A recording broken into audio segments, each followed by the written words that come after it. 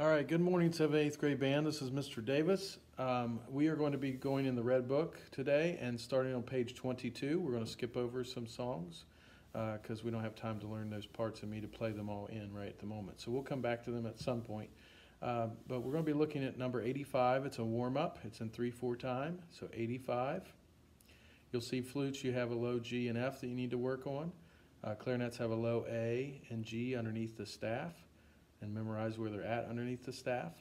Uh, saxophone has a low E and D, uh, just without the octave key.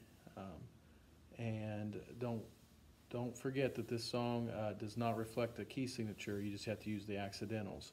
So flute, trombone start on an A flat, trumpet, clarinet, treble clef, baritone will be on a B flat, alto sax will start on an F. Okay, and this will repeat.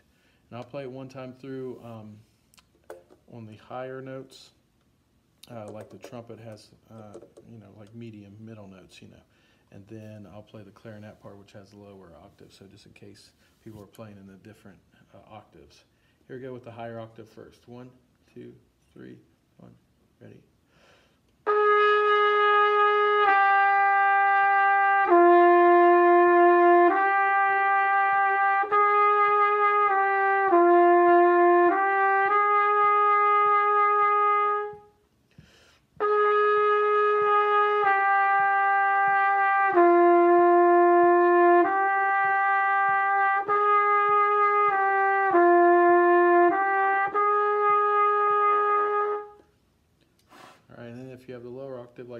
Clarinets have. One, two, ready, go.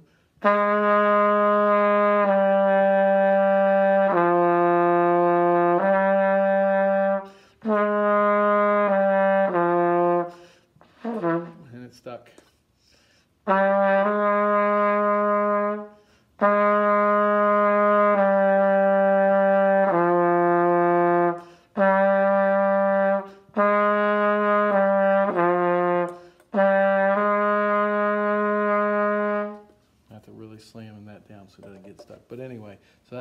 Octave as well. Um, I don't know if on the upper octave I actually repeated that because it's been a long week. And I'm doing this at the end of the week so that you can have it on Monday in case we're not here. And now we're going to look at 86, full of hot air. 86, full of hot air. You can see flutes have a high A natural and B flat. Make sure you work on those. Trumpets, treble clef baritone, work on your middle line B, second valve, and open C in the third space. Trombones work on your high A in second position and your high B flat in first position. Okay, uh, I think those are all the notes that everybody in the class. Yep, that's all the ones that we have for today. But um, full of hot air, I will play uh, what the trumpets are doing. It's more of the upper octave, so that's with uh, flute, uh, trumpet, trombone, yeah, flute, trumpet, treble clef, baritone. Trombone can all play along with these notes right now. One, two, ready, go.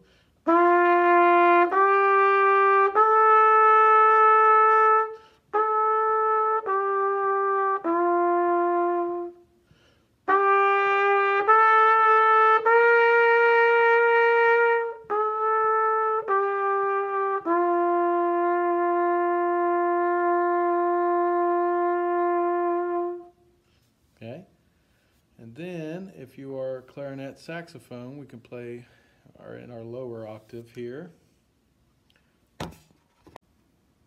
One, two,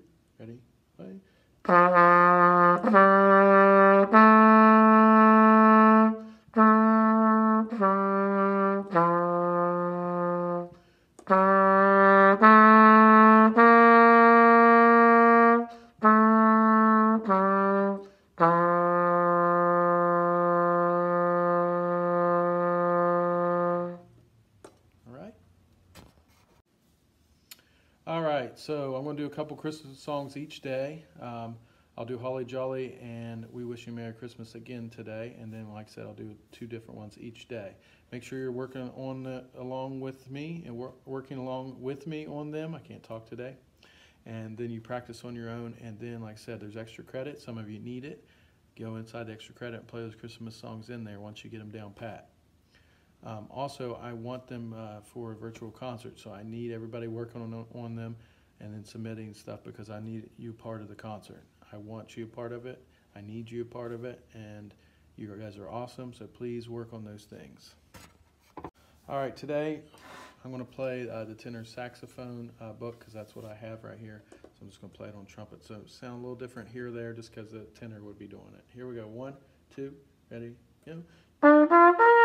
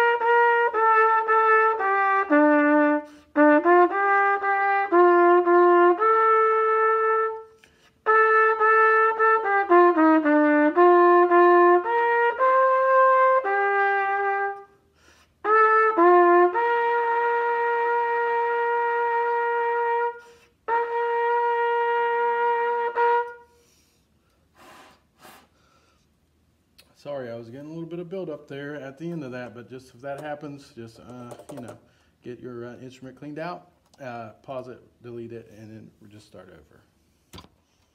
So always look at the key signature when you're playing songs to make sure that you're in the right key. For trumpet, I'm going to be having a B flat, so I'm going to have a first valve here. So you just got to look at those differences. Most of the time right now, it's either clarinet, trumpet have a difference between B natural or B flat in these keys. Uh, sometimes uh, flute trombones, they have a difference of the A to A flat, depending on, you have B and E most of the time, and then you might add the A flat. Uh, saxes just got to see if whether they're playing your F sharp or whether you're playing an F natural. And then remember, you have accidental notes in there they have to watch for too. This one doesn't have too many accidentals. You just got to watch your key and make sure you do the repeat sign. Okay, and I'm just going to play, like I said, I'm playing out of the tenor book. I'm going to play this one an octave lower on this. Ready? One.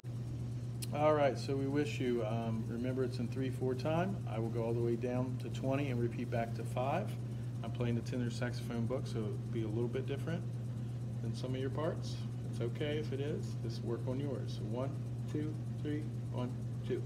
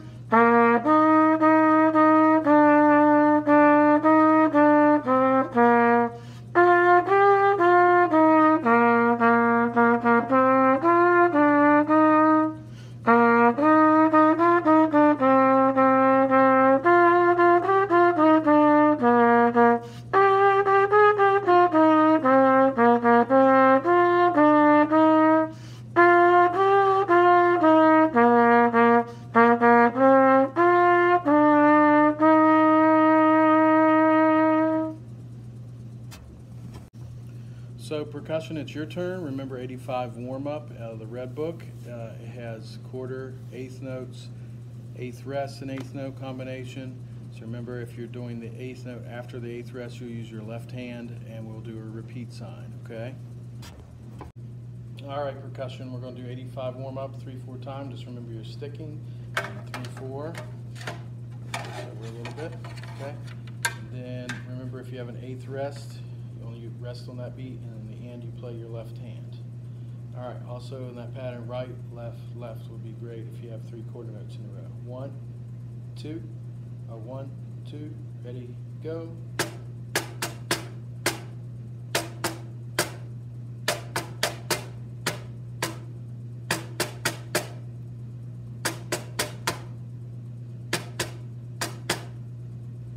Two, repeat.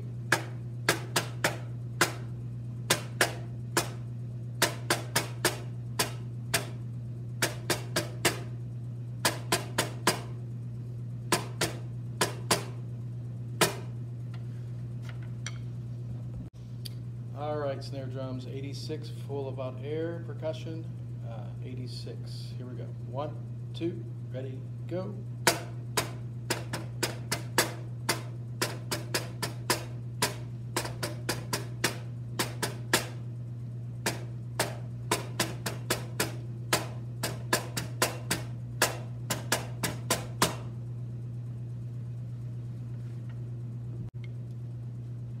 Okay, percussion, here's Holly Jolly Christmas for snare drum. Just working on it. Here we go. Holly Jolly Christmas. One, two, ready, go.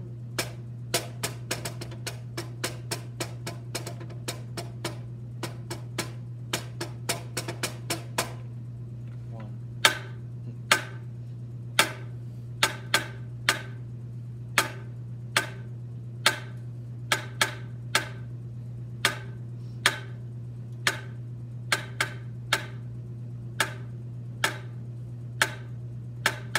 Thirteen. Again. Again. This time.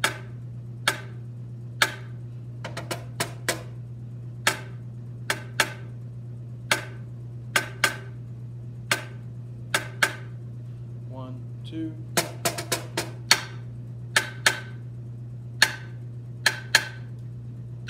Two, three, four.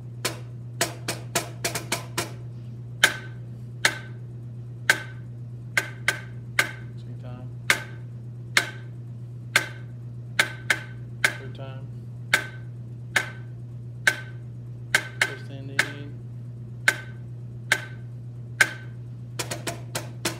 Goes back to 21. We're doing that bass rhythm on the knock three, and then one, two, one, four, one, two, three, four.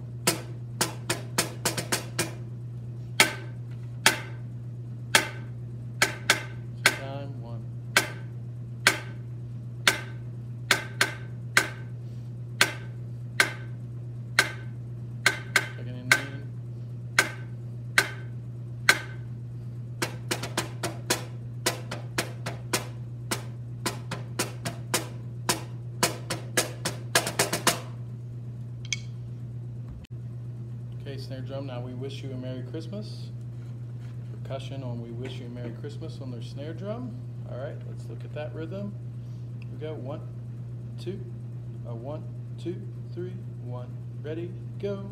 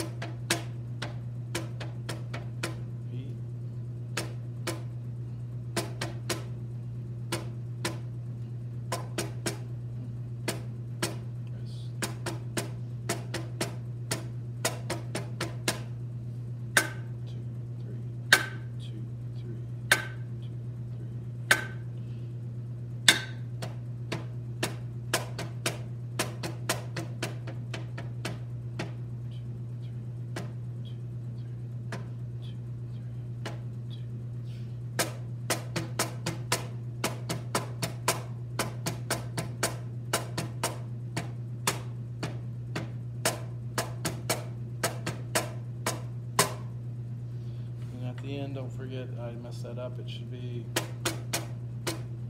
should be two lefts. Ready, last two measures, ready, go. Still think I messed it up. Let's try it again. One, two, ready, go. Yeah, I think I would just do that. Right, left, right, left, right. So let's go back and play the last four measures. One, two, ready, go.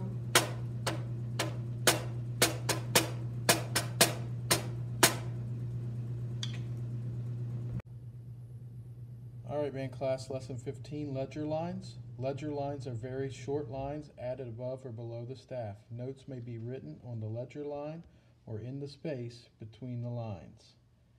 This note is one ledger line above the staff. Two lines above. This note is one space above the staff. This is two spaces above the staff. This note is one ledger line below the staff, and this is two ledger lines below the staff. This one is one space below the staff, and this is two spaces below the staff. The names of these added lines and spaces are, so you can see above the line you have G, on the ledger line is an A, above it is a B, and above that is a high C on the second ledger line. You can see below the line you have D in treble clef, C is on the ledger line, B is underneath the ledger line, and A is on the second ledger line below. In bass clef, you bass clef people, B is above the, the ledger, sorry, B is above the top space, top line note. I'm having all kinds of issues today. I'm sorry for that. B is above the line on the staff. C is on the ledger line, D is above that, and E is on the second ledger line in bass clef. Below the line is low F. On the line is a low E for bass clef. D is underneath the one line, and then C goes on the second ledger line down in bass clef. Below are all the notes that you have learned so far. Treble clef all the way from a low A up to this octave A and another octave to the ledger lines up here, and then a B and C at the top. Bass clef, you're going to start on a low C, two ledger lines below, all the way up an octave in order, and then it goes another octave, so this is above your ledger line to C, and D and E are above the staff on the ledger lines. Okay, number one, what are the letter names of the first four notes above the staff in treble clef? Okay, so we're going to look at the four notes that are above the staff for number one. Right there they are. Number two, what are the letter names of the first four notes below the staff? First one, four below the staff. So you're going to be looking at these ones below the staff, these four. Okay, now we're looking at bass clef. The first one's above the staff, bass clef. So we're going to be looking here at the B and across, those four, bass clef. And then the last one says, what are the four letter names below the staff? Looking at your low F, E, D, and C. It doesn't matter which side or order you go in, as long as you have those four uh, written in the bass clef. And the last thing is memorize the names of all ledger lines and spaces above and below the staff as shown here in both treble and bass clef. All right, band, thank you for having a great day, and I will see you later.